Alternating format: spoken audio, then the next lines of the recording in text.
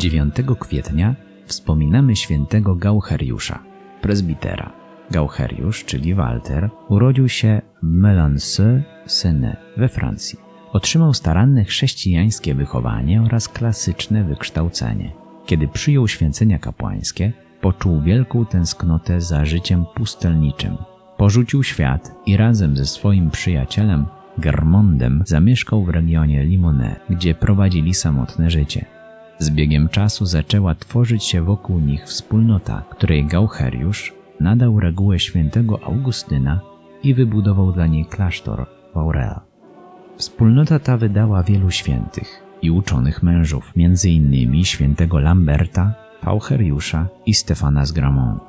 Gaucheriusz zmarł w wieku 80 lat w roku 1140 w Aurel na skutek upadku z konia. Kanonizowano go w 1194 roku. Módlmy się. Boże, Ty powołałeś świętego Gaucheriusza do szukania na tym świecie Twojego Królestwa przez dążenie do doskonałej miłości. Spraw, abyśmy wsparci Jego modlitwami w radości ducha coraz więcej Ciebie miłowali.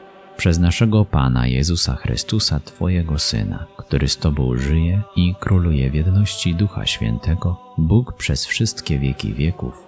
Amen.